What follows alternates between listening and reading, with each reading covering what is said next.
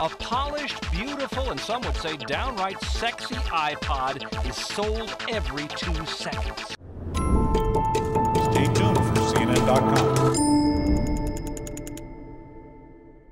Well, gizmos don't often change the world, but we're witnessing a mini revolution with one right now. Apple's iPod music player came out in 2001, and now those sleek little boxes with white headphones are just about everywhere. One prediction that 23 million of you will have been sold or will own one by the end of the year. But it's not just about music, as Tom Foreman explains.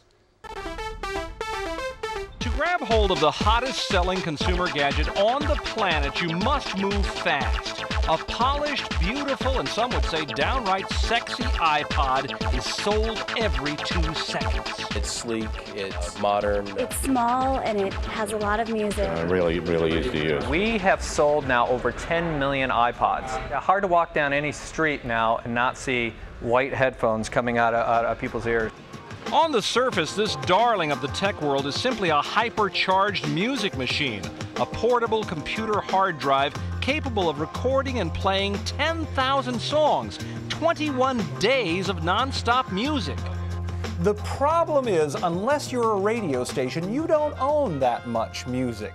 So, the rapidly expanding cult of pod is coming up with all sorts of ideas about what to do with that extra space.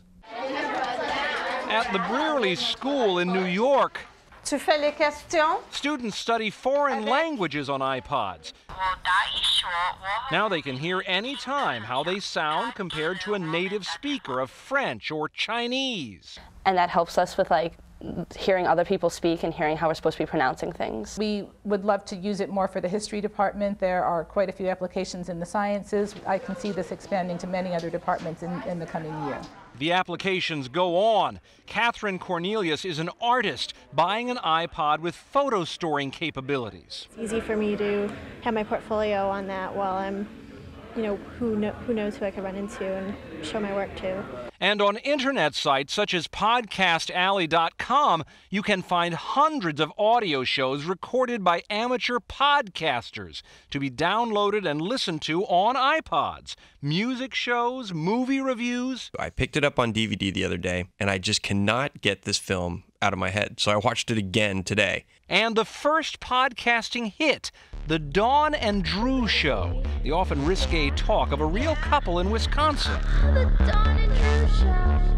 So, Chrissy, we want to talk to you about what it was like to be in jail. All right. All this has spurred the creation of 400 accessories for the little iPod, who compels his followers to buy, buy, buy. But I enjoy every single feature. I never have a problem with it. Critics complain that the rechargeable battery must be replaced by a technician. Competitors say their mock pods offer better sound quality. But everyone watching the tech business knows Little Pod sets the pace. I mean, basically, if you want to compete with Apple on this thing now, you gotta you gotta have an iPod knockoff. You can't do something much different. So it's changed the world that way. In 1956's invasion of the body snatchers, space aliens took over people's bodies and minds using giant seed pods. Where do they come from? I don't know. The victims looked the same as they always did. They were just different. And so it is with modern pod people. You may not know it, but they are among us. They are everywhere, and their numbers are growing. Música